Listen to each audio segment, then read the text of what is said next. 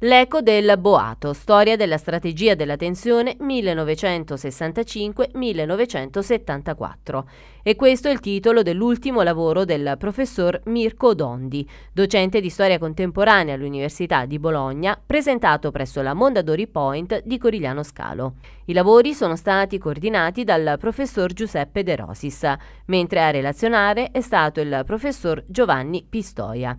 Durante l'iniziativa sono stati letti da Natalia Volio, Franco Cirò, Katia Genova, Giussi Forciniti, Anna Milieni e Mario Felicetti alcuni brani del testo del professor Dondi, nonché alcune poesie sulle stragi e la violenza di Giovanni Pistoia un volume di circa 450 pagine che rappresenta un viaggio nell'Italia delle stragi e dei misteri.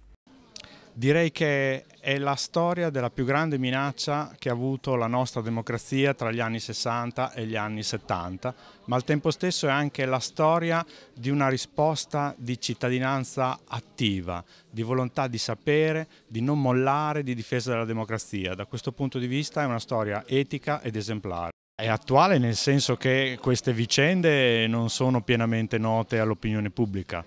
Questo è un lavoro di ricostruzione storica che non pretende di sovrapporsi al lavoro dei giudici, ma che cerca di costruire dei contesti eh, di strage.